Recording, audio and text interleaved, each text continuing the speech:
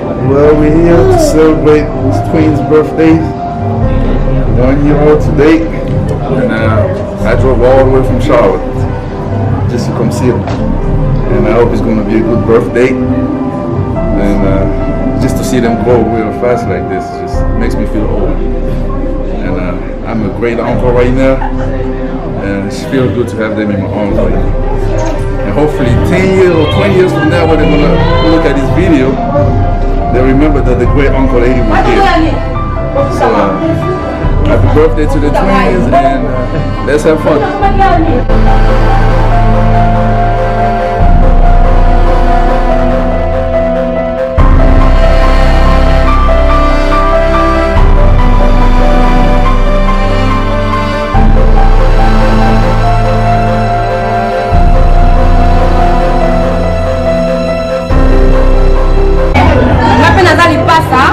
c'est pour cela que naye na fete oyo nga nazanga affection ya fete ya inaneme mais voici je suis là avec mes deux enfants mes deux filles baza telema kitoko donc nalobi ata tongosa nazala wa naolala te naye mpo naza lipasa donc